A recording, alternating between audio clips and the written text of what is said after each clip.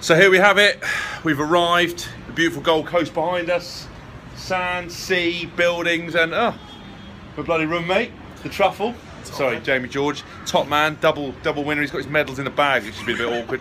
Keeps getting them out, showing to me. Oh, this Such a rubbish this old thing. Um, what Sorry about that. hell of a journey. Hell of a journey, mate. Yeah. Feeling fresh now or not? No. I'm in Terrible. hell. We're in hell. But how in 2016 it take literally taken me two days. I don't know where I am. What I don't know what time it is. But they've learned. breakfast. Yeah, how many breakfasts have we had in the last 40 hours? Mate, yeah. I've We've just eaten breakfast. We've eaten about four breakfasts. four breakfasts. Incredible. Not But great for my rig. not well, yeah, the rig's looking alright. In- well, it's not great light actually. Yeah, terrible not light. great light. Natural light's not a, a big thing for him. Um, but as you can see, we've got the beach. We've got a bit of sand. We're going to do some recovery now. We've landed. We're surviving. Um, Killing it. what did you watch on the mo- any movies? Uh, Creed. Creed. Creed. Yeah. What's your boxing skills like?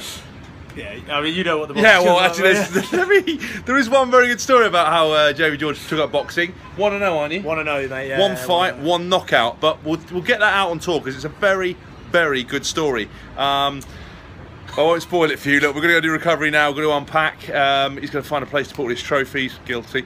See you boys later.